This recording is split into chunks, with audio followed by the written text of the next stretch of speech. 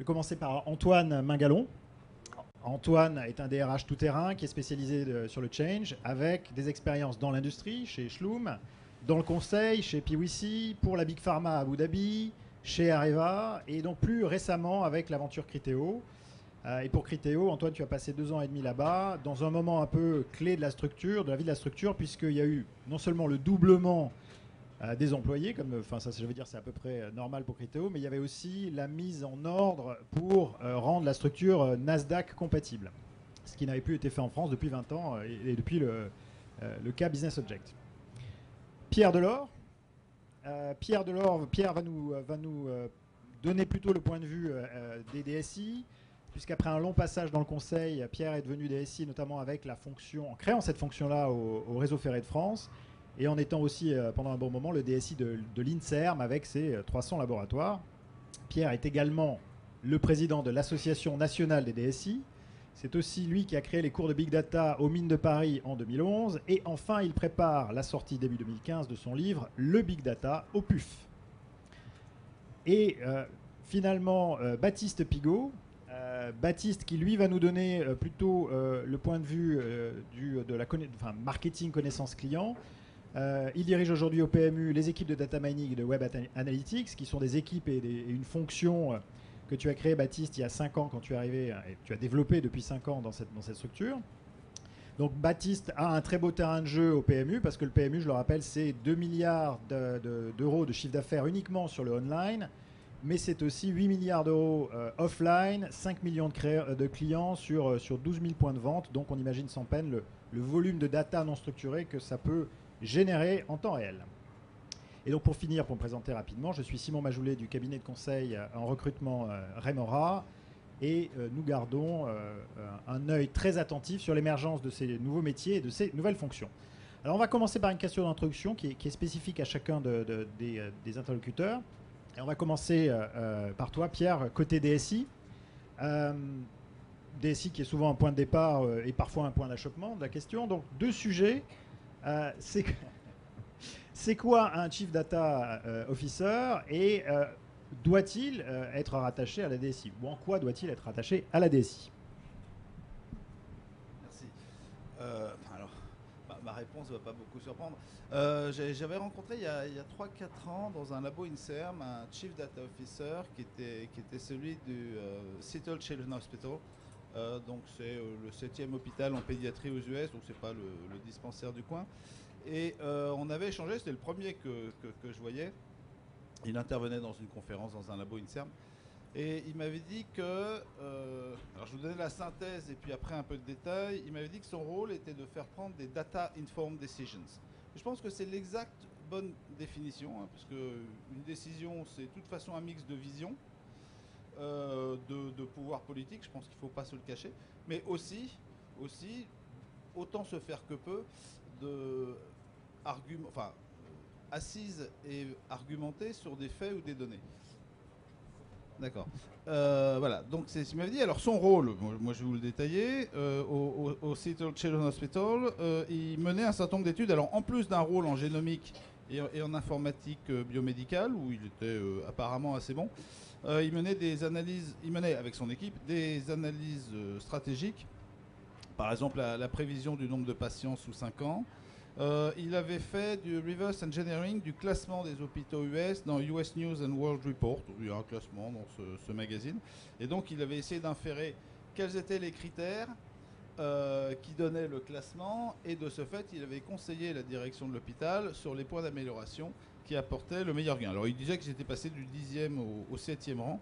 Euh, et puis il avait fait aussi des modèles de rétention des infirmières, puisque ça leur coûtait assez cher à les former et à les embaucher. Et euh, vu le prestige de l'hôpital, enfin en tout cas dans l'État de Washington, euh, elle partait assez vite. Donc il avait, il avait conseillé sur des, sur des modèles euh, d'incitation pour garder la, la population d'infirmières. C'est le premier que j'ai rencontré. Alors à l'INSERM, j'étais Chief Data Officer parce que j'avais une mission management des données. Enfin, dans les labos, ils étaient quand même un peu meilleurs en statistique que, mes équipes, même si moi j'avais des, des, biostatisticiens à la DSI.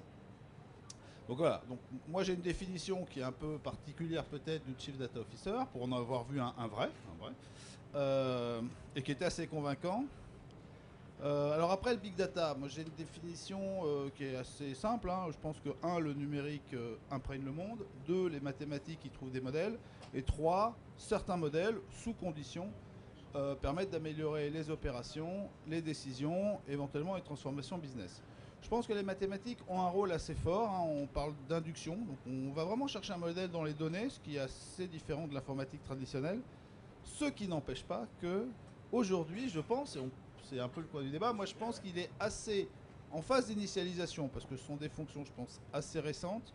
Les stats inductives sont pas très maîtrisées dans les entreprises françaises, de mon point de vue.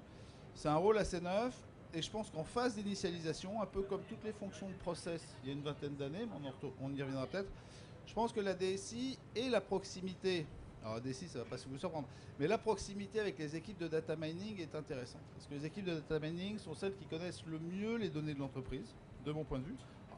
Même si elles ne sont pas forcément faites pour intégrer rapidement des données brutes, hein, elles sont formatées un peu différemment.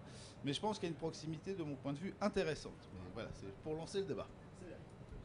Parfaite introduction. Alors on va euh, aller de l'autre côté de la barrière. Baptiste, euh, tu es, tu es euh, inséré dans les, dans les équipes de marketing. Donc parle-nous de ça et de ton expérience concrète au, PMU. Comment vous avez construit les équipes et pourquoi choisir cette, cette proximité avec le, métier? Oui, alors moi je vais vous parler de deux choses distinctes. Notre période actuelle, est-ce qu'on a fait depuis 5 ans la construction du data mining au PMU, comment ça s'est constitué? Qui est un peu la période de la préhistoire, puisque maintenant je suis un dinosaure, je suis un data miner et pas un data scientist. On va évoluer vers autre chose. Parfois c'est un peu l'impression que j'en ai. Euh, donc cette période-là, et puis qui est très orientée marketing, et puis ce qu'on veut faire à l'avenir, qui se rapprochera peut-être plus de ce dont parlait Pierre tout à l'heure, notamment sur le rôle du CDO. Euh, Qu'est-ce qu'on fait au PMU depuis 5 ans? Je suis arrivé tout seul il y a même 6 ans maintenant, en 2009, pour euh, réintégrer toute la connaissance client au sein du PMU. Maintenant, on est une dizaine de personnes avec une constante dans ce qu'on fait, c'est de mettre la data au centre des décisions du métier.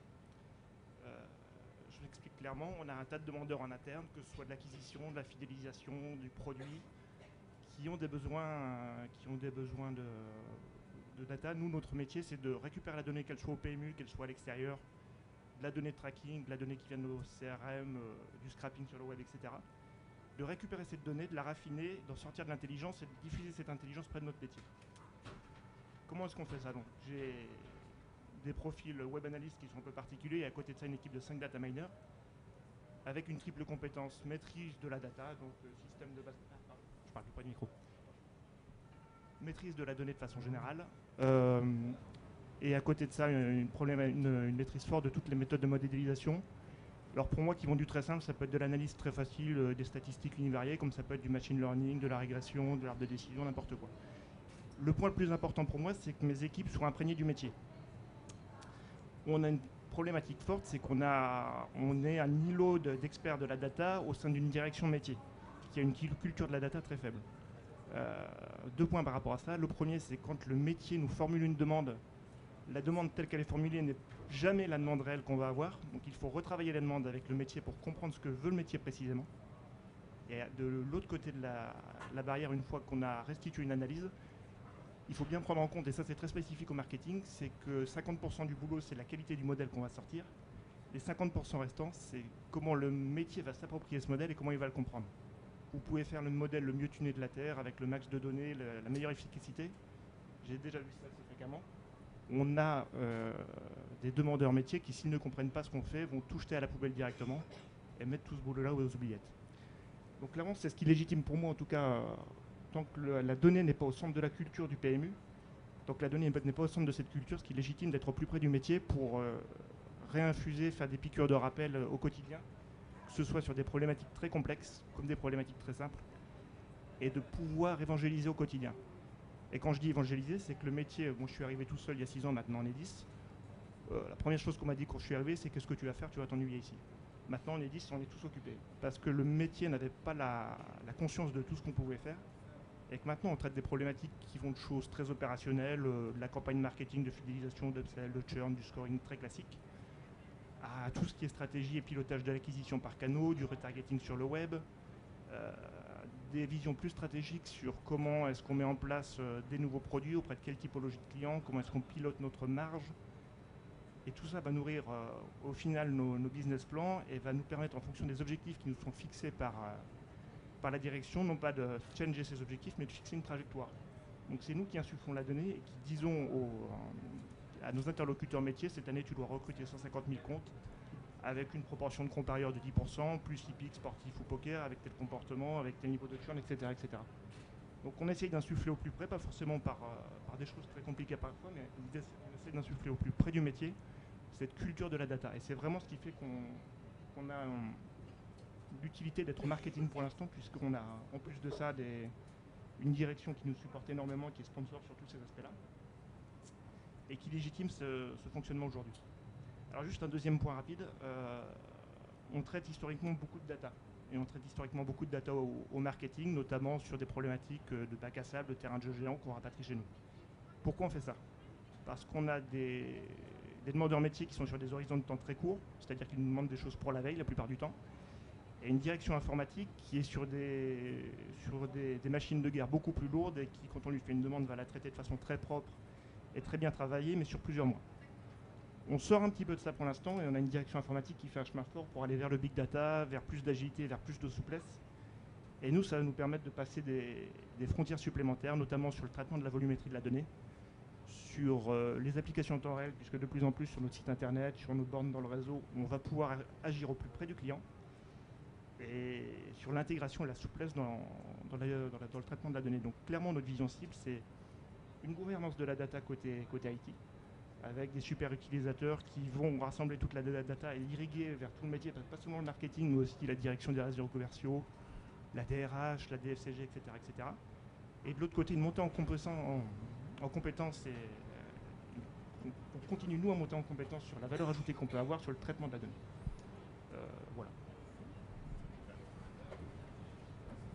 Dernier propos d'introduction, Antoine. Alors, tu as, été finalement un des rares cas en France où la question de l'intégration de, la data science ne se posait pas, puisque Criteo, on avait fait le cœur un petit peu de la machine. Donc, quelque part, on a construit, c'est plutôt autour qu'on a construit, en tout cas, ces, compétences-là. Euh, tu nous dis-nous encore même quelques mots. Et ensuite, de manière plus générale et avec ta casquette de DRH, comment une fois qu'on a décidé qu'on avait besoin d'équipes de, de, data scientists en interne, euh, on les met où? D'accord. Alors en fait, dans une, boîte dont le core business est la data, c'était le cas de mon dernier employeur, euh, la, data, elle est, répartie, et les, hommes et les femmes qui travaillent sur la data sont à la R&D et au produit. Le produit couvrant la business intelligence, la BI, qui est, euh, l'art de la guerre dans ces, secteurs d'activité. Euh, la DSI est très proche de l'infrastructure le, par exemple, à la R&D, il y avait un département infrastructure qui s'occupait des data centers, c'était même pas la DSI hein, du groupe. Alors, euh, moi j'ai tendance à dire que vu les challenges qui, attendent euh, les entreprises, euh, les rentabilités possibles et les virages qui sont parfois encore numériques uniquement, mais qui sont sur le big data à venir, ça va être très compliqué de demander, on en connaît, d'ailleurs Simon et moi on en connaît quelques-uns, dans des boîtes de taille tout à fait, euh, encore tout à fait humaines, qui peuvent gérer l'IT, la R&D, le produit ensemble. Mais globalement, parce que c'est des gens qui sont nés dans le data et dans le, dans le numérique, dans le digital, euh, très très jeunes dans leur carrière. Mais globalement, je vois mal d'abord comment un DSI peut gérer à la fois le big data et l'infrastructure, passer du, du, pack office, l'installation de pack office et du hardware chez les salariés, et puis travailler sur du big data. Il y a des profits qui existent sur le marché, mais quand même, il y a un problème de compétences quand même. Hein. C'est un vrai sujet et je pense que ça sera à terme, à terme pas le mot parce que ça vous donne pas de timing, mais assez rapidement compliqué à part des gens qui savent, qui savent faire, on en connaît. moi j'en connais un ou deux. Compliqué de demander à un DSI de travailler aussi sur ces sujets-là. Surtout si c'est un pan stratégique important. Donc là où ça se place à mon avis dans l'entreprise, dans les entreprises qui veulent faire un vrai virage, c'est un reporting au CEO, donc au dirigeant de la société. c'est mon point de vue hein, de RH.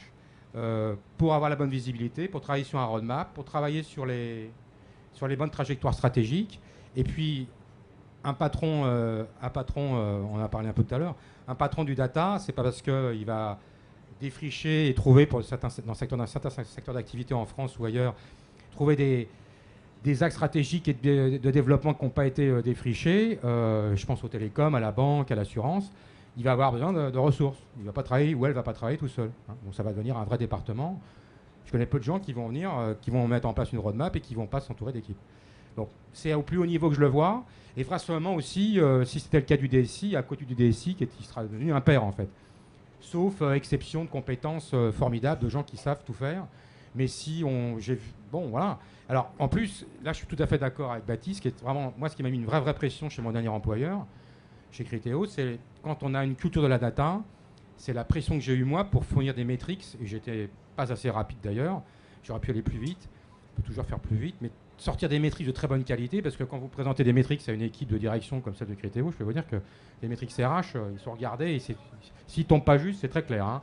dire, donc en fait, ce qui est très très bien dans cette histoire, c'est que l'ensemble, dans l'idéal, parce que c'est au plus niveau, au plus haut niveau, et que c'est imprégné culturellement dans la société, vous avez l'ensemble des, départements, j'aime pas, pas le terme, mais support, qui ne sont pas dans la data et qui ne sont pas dans le core business, qui eux-mêmes font un très très gros effort, le, meilleur effort possible, pour, à défaut de prévoir, en tout cas avoir, de la BI qui fonctionne bien et avoir au moins des datas qui tombent, bien. Hein.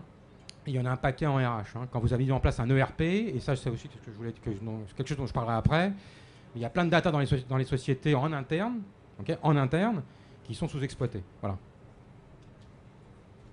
Est-ce qu'à ce stade-là, il y a certaines personnes euh, ici qui ont des questions à poser à nos, à nos participants ou est-ce qu'on continue sur le Chief Data Officer?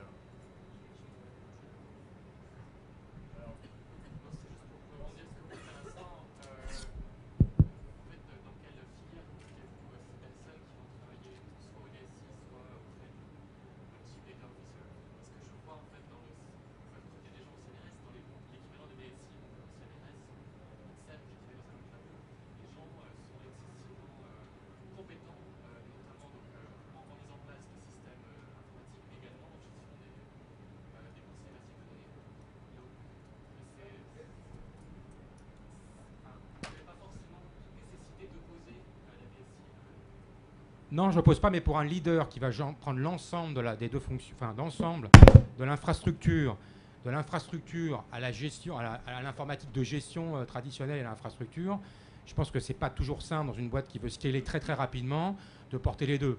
Je dis pas qu'on j'ai dit tout à l'heure qu'on trouvait des gens et qu'on en connaissait d'ailleurs Simon et moi qu'on connaissons, mais c'est une compétence rare et quand tu démarres d'une feuille à zéro, je pense que quand tu scales très vite et que tu as des besoins et tu es déjà tendu sur ton infrastructure traditionnelle en IT, c'est pas simple de trouver aussi le temps, hein, comme, comme dirigeant du data, le temps et l'énergie euh, et, l'espace stratégique pour pouvoir aller défricher ce que la boîte n'a pas pu défricher. Je pense que c'est un vrai, vrai stretch hein, quand même. Hein.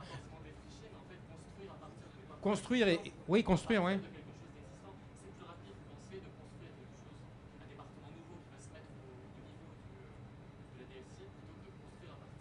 Alors ça, ça je peux challenger, ouais. Ça je peux challenger.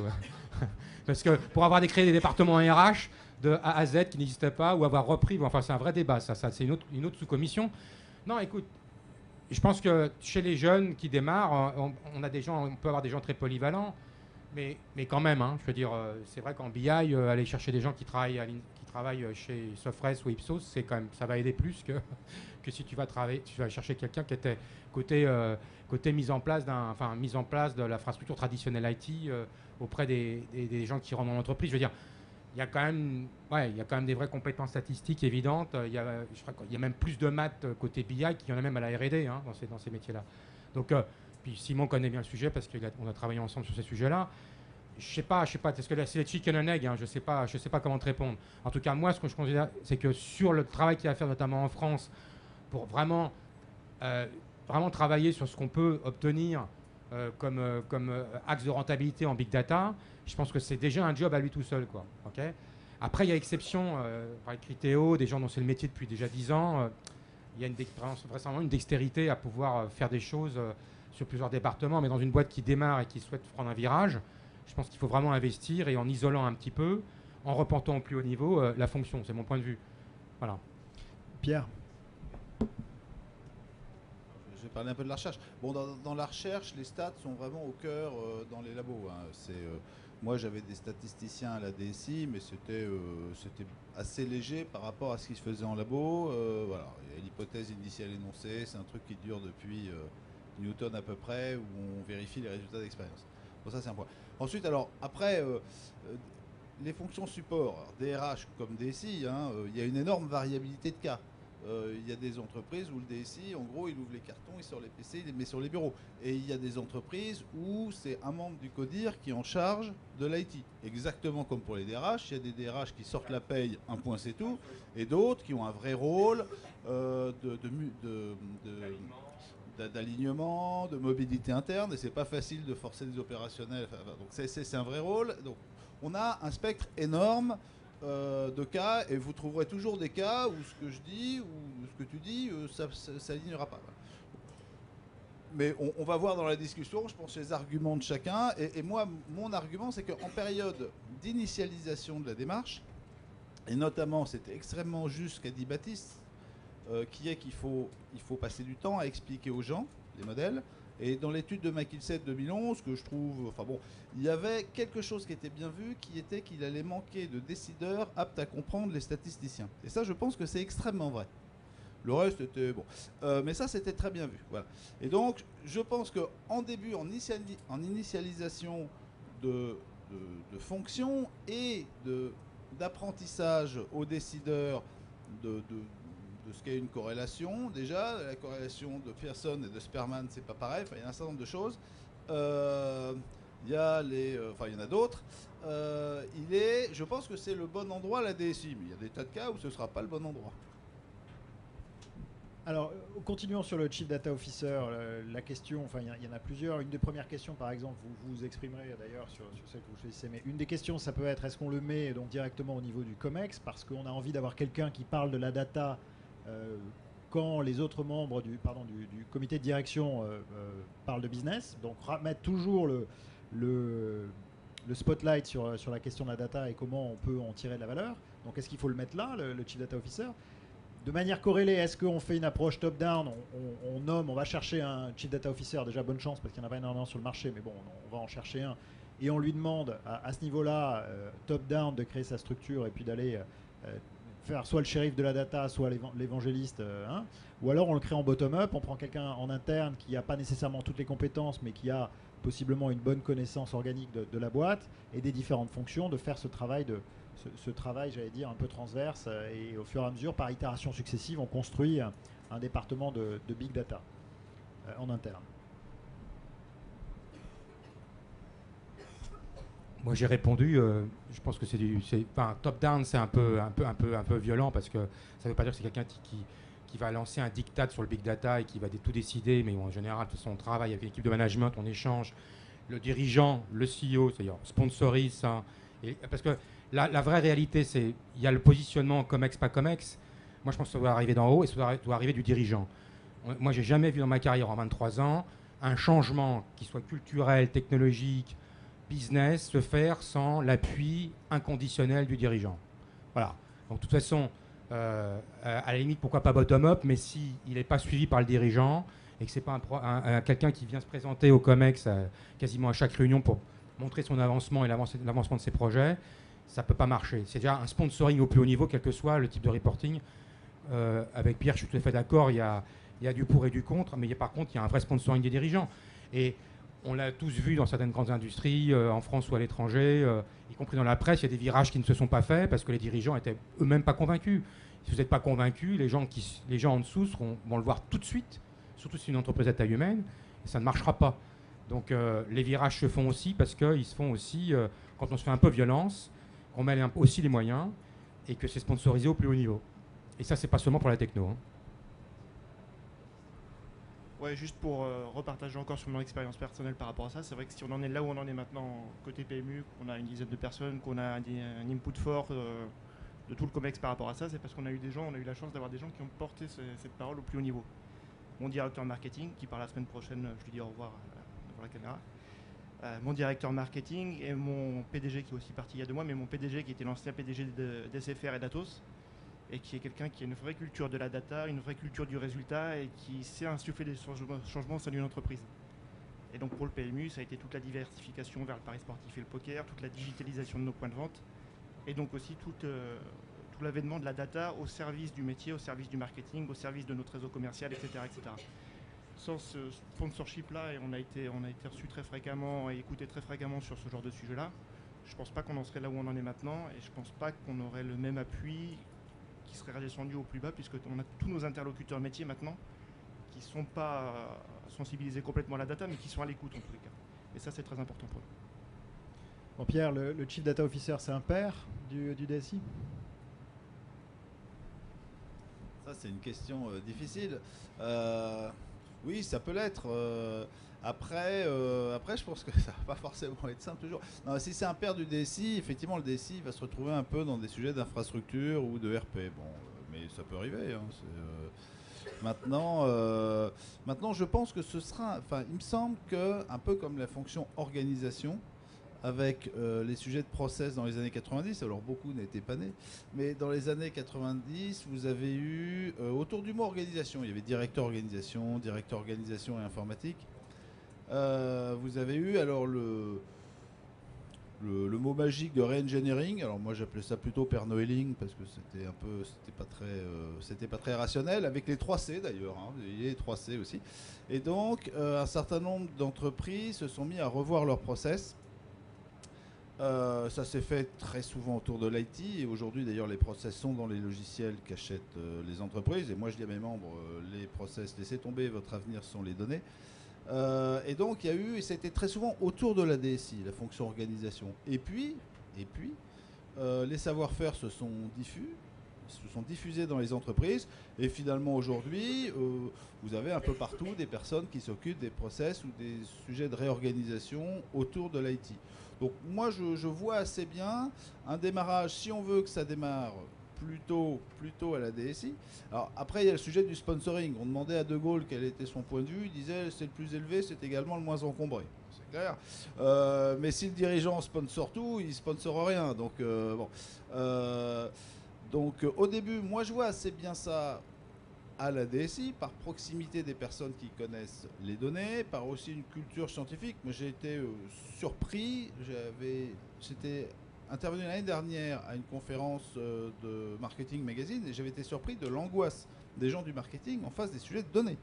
Euh, et j'avais fait intervenir le chief scientist de Criteo au Conseil général de l'armement où je m'occupe de la, de la commission Big Data et il nous a dit que au début il expliquait euh, à ses clients, donc les personnes du marketing, la différence entre le coût moyen et le coût marginal, il m'a dit on a arrêté, on perdait des clients. Eux, ils voulaient savoir c'est combien la personne qui rentre, un point, une barre. Donc il y, a aussi une appétence, une, culture ou une éducation scientifique que, il me semble, il me semble, on trouve davantage à la DSI qu'au marketing ou au RH ou à la com. Euh, donc voilà, j'ai mis mes arguments sur la table. on peut en parler. Je vais rebondir sur quelque chose que tu, que tu disais qui peut nous aider. C'est-à-dire qu'on voit bien avec le Big Data que c'est une, fonction émergente et donc on manque un peu de recul. C'est très obscur. Il y, a du, il y a du narratif des vendeurs de technologie. Il y a des, choses qui se mettent en place et qui ne sont pas complètement. La peinture n'est pas sèche. Donc peut-être qu'on peut effectivement regarder en faisant un parallèle avec certaines nouvelles fonctions qui, à l'instar du Big Data, vont, ont impacté dans le passé toutes les, fonctions traditionnelles et voir un petit peu comment, comment ça s'est passé. Et, je te pose plutôt évidemment à toi, Antoine, la question du parallèle entre l'intégration de cette nouvelle fonction qui, est le digital, qui a été, euh, pendant un temps, on s'est dit qu'il fallait l'incarner dans un Chief Digital Officer, et puis ça fait dix ans qu'on en parle, on ne sait toujours pas où le mettre, le Chief Digital Officer dans l'entreprise, c'est vraiment le, vagabond en fonction de l'entreprise, on le place là, on le place là, on le place nulle part. Est-ce qu'on va vivre euh, avec euh, le big data les mêmes errements qu'on a connus avec le digital? Pareil, pareil, une fonction en disruption qu'on peut mettre partout. Euh, est-ce qu'on peut, euh, en regardant ces dix dernières années, en, déduire euh, des, key learnings qui vont aider les entreprises à, mieux gérer donc l'émergence de cette nouvelle fonction Alors, mon point de vue, après quelques années de carrière, c'est que d'abord, moi je, moi je vois les choses un peu différemment. C'est un peu plus facile aussi parce que le digital, je l'ai vu de plus près depuis, depuis 20 ans. moi, j'ai eu la chance de démarrer chez Schumberger. On avait, on avait des emails en 1980 dans les années 80 quoi, déjà, hein, parce que Chaumerger était propriétaire de son réseau Internet. Donc on avait, on avait le Chaumerger International Network. Donc moi j'avais des emails, j'envoyais déjà des emails en 1987. Quoi. Donc euh, euh, ça c'est 90 en l'occurrence. Mais bon, euh, honnêtement, le digital, moi je l'ai vu, j'ai porté des sujets digitaux parce que j'ai digitalisé dans mon dernier job l'essentiel des outils RH qui n'étaient pas digitalisés quand je suis arrivé. Et ça, je pense que c'est quelque chose qui doit être réparti chez l'ensemble des dirigeants. Pour le coup, je crois que l'effort digital, c'est un effort que le, CFO, le DRH et que l'ensemble des fonctions, euh, soutenues par la DSI évidemment, euh, et aujourd'hui, franchement, ne pas, enfin, il y en a beaucoup hein, qui n'ont pas, mais cette, volonté-là, mais je pense que le digital, il est représenté chez tout le monde, quoi. Et aujourd'hui, il n'y a, a, pas un salarié qui vous dira qu'est-ce qu'on est content avec nos spreadsheets je suis très content qu'on soit resté avec nos, spreadsheets pour les notes de frais. vous avez un push interne qui fait que, euh, honnêtement, il n'y a même pas besoin de, enfin, Chief Digital Officer. Euh, tout le monde a envie de, bon, surtout dans des environnements qui bougent. Euh, mais le PMU a commencé, et ça c'est la vraie question. Est-ce qu'on arrivera à, très bien fonctionner en big data parce qu'on a été bon en digital? Est-ce que comme pour l'enfant, la station à quatre pattes, on sait qu'elle n'est pas prémonitoire de la station debout? C'est-à-dire qu'en fait, est-ce que quelqu'un qui a raté complètement son virage digital va pouvoir être super bon en big data? Moi, j'en sais rien. Euh, j'ai tendance à croire quand même que c'est un bon training quand même d'avoir réussi à faire un virage digital, même si ce n'est pas son core business, d'avoir au moins des outils en interne pour les fonctions support qui sont friendly et intuitives et qui fonctionnent euh, au service des salariés euh, de, manière, de manière adéquate et puis surtout avec aussi des métriques qu'on peut sortir.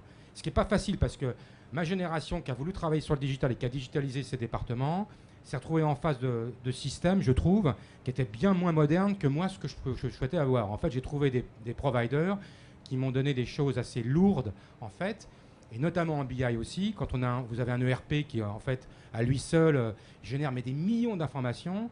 Quand vous voulez chercher tirer des ratios, vous avez peu de providers, peu d'éditeurs qui vous, qui vous mettent en place euh, en interface des solutions de BI qui sont simples à mettre en place et qui vous tire les ratios vous voulez. C'est très très long et c'est très très pénible. Donc je pense qu'il y a un vaste espace pour alléger aussi les solutions qui sont fournies en interne euh, euh, pour pouvoir gérer les données dont on a besoin en interne et même pas en externe client. Là, je ne vous parle même pas du job du, CDA. Hein. C'est vraiment ce dont vous avez besoin en interne pour pouvoir faciliter la vie et les décisions des gens et du management et du DRH et du CFO. Euh, il y a des besoins d'outils beaucoup plus légers. Je sais qu'il y a un grand éditeur logiciel cet été qui a fait son mea culpa sur la complexité des systèmes qu'il avait, qu'il avait fournis. Il a sûrement raison. Il faut vite qu'on ait des choses plus simples et qu'on ait aussi des BI, des systèmes, enfin des éditeurs qui nous fournissent une BI simple, beaucoup plus simple et beaucoup plus simple en intégration aussi. On a des délais d'intégration qui sont beaucoup trop longs. Donc moi, ce que je pense, c'est que ça, tout le monde doit respirer le digital. Et j'espère qu'à terme, tout le monde respirera le, le, big data. Mais je pense que c'est quand même bien d'avoir fait un virage en amont avant de se lancer, enfin, je pense que c'est un, bon training en tout cas. C'est un bon changer sa zone de confort sur le digital, c'est très bien pour démarrer, à mon avis, du, data. Et puis data, c'est bien, mais la quantité, comme disait ma grand-mère, c'est quand même beaucoup, c'est quand même beaucoup moins bien que la qualité. C'est super bien d'avoir un paquet de données. Enfin, ce qui est intéressant, c'est d'avoir de la better data que de la, que de la data tout court. Hein.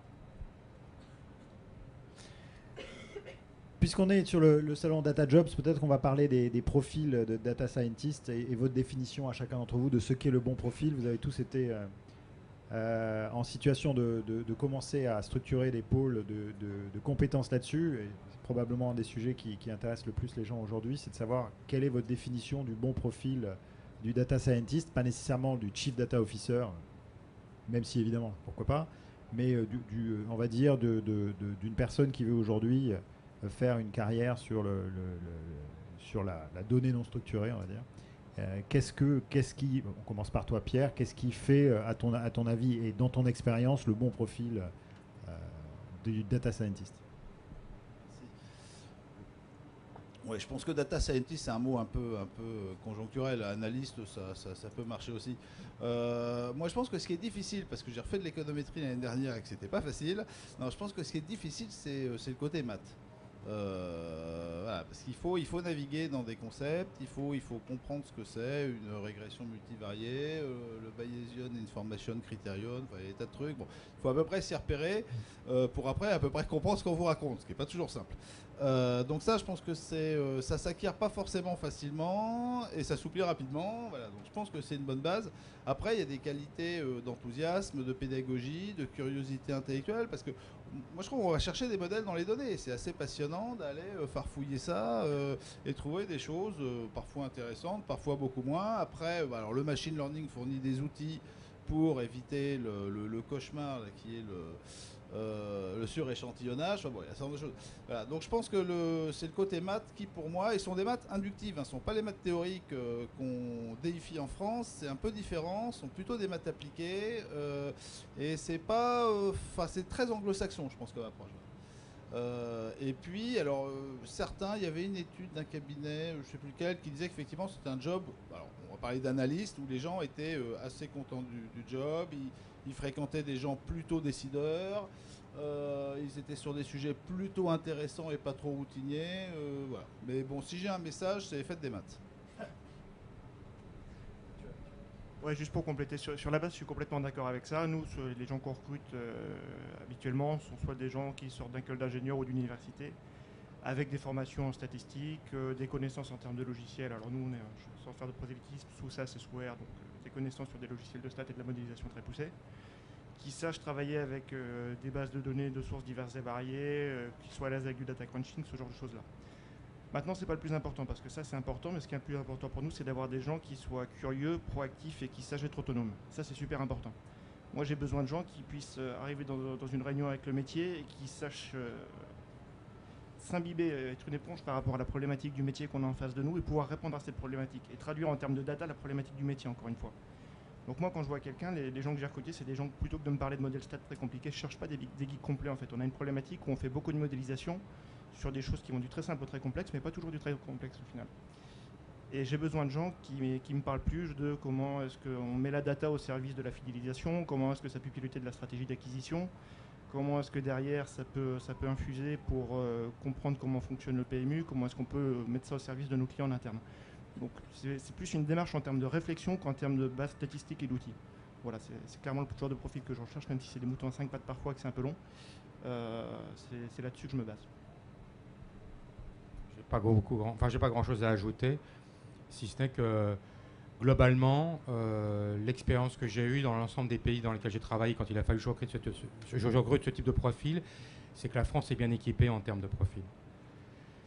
Et peut-être même devant tous les autres pays dans lesquels j'avais à recruter. et même devant les États-Unis. Moi, je me souviens de quelqu'un qui est un manager BI, un patron de la BI, qui me dit on a quand même, c'est toujours beaucoup plus compliqué dès qu'on sort. On a sûrement de par euh, l'importance des mathématiques euh, dans le système éducatif, le nombre d'écoles d'ingénieurs qu'on a, le fait aussi que dans, ma dernière société Critéo, la R&D, et pas toute, mais une partie de la BI, en tout cas centrale, était à Paris, on arrive à alimenter, et trouver les gens qu'on souhaite et les profils, c'est ce que vous avez écrit, donc je ne vais pas revenir dessus. Mais la France est plutôt bien, est plutôt bien équipée. Moi, j'avais tendance, quand, on a, quand j'ai rencontré les gens qui ont accompagné euh, enfin les banques euh, qui ont voulu voir la stratégie RH de la société, je leur ai dit qu'un peu comme la Russie, on a quand même un réservoir d'ingénieurs de super qualité et en quantité aussi. Pour le coup, là, on a la quantité et la qualité. C'est plus compliqué quand on monte dans les niveaux de management et trouver des niveaux de management euh, plus élevés. C'est plus difficile, mais sur des gens en qualité et en quantité qui démarrent leur carrière, on trouve à la fois en R&D et en BI, on trouve les deux, hein, qui sont des gens qui, sont matheux en général, qui n'ont pas les mêmes métiers, mais on trouve. Voilà. Alors, il nous reste 5 minutes. Est-ce qu'on va en profiter pour prendre des questions euh, s'il y en a? Euh, pour, euh, Alors, vous grattez la tête ou Non, c'est bon. Levez-vous, je vous en prie.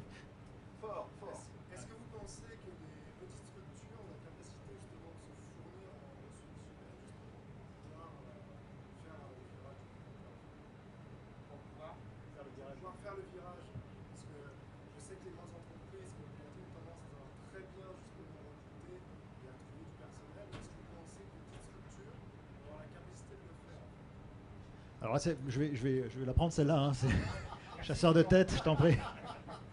Pour une petite structure, vous avez un avantage quand vous voulez recruter une bonne compétence, c'est que vous allez lui mettre euh, sur un périmètre plus important. C'est-à-dire que vous n'allez pas euh, essayer de jouer le jeu des grosses et euh, d'être en compétition sur le type de projet, si c'est un intégrateur ou un, cabinet de conseil avec lequel votre candidat va être, va être frotté. En revanche, vous pouvez lui dire, voilà, tu n'as que 25-26 ans et tu vas construire ça chez nous. On est une petite boîte, mais tu vas avoir les clés du camion. Et donc, si vous êtes une petite boîte et que vous cherchez ce type de compétences, il faudra prendre peut-être un peu plus jeune, un peu moins euh, prouvé, entre guillemets, un peu moins éprouvé. En revanche, si vous ne vous trompez pas dans votre choix, vous allez prendre quelqu'un qui a envie euh, d'être plus que juste euh, un, gars dans un coin et qui va et qui va travailler sur des problématiques que normalement où son âge et son, et son manque d'expérience ne le, ne, l'expose pas. Donc vous allez le mettre en, équilibre avant, on va dire. Là, il faut évidemment pas se tromper sur le profil, euh, parce qu'il faut quelqu'un qui puisse faire un, step-up rapide. Mais c'est une façon pour une petite boîte d'aller chercher des bons profils euh, au nez à la barbe des, euh, grandes structures, parce que peut-être, c'est- des très bonnes écoles, hein, les, grandes structures, les Accenture, les EY, etc. Mais on, est, finalement à l'école et on n'est qu'un, le membre d'une très grande équipe dans de très grands projets. Certaines personnes ont envie de porter un petit peu plus directement la, charge de la, responsabilité. D'autres questions, re- recrutement ou, d'ailleurs euh, fonctionnel sur le, sujet? Non, c'est bon? Écoutez, merci beaucoup pour, euh, euh, pour votre écoute, pour votre temps. Et puis, bonne continuation du salon Data Jobs.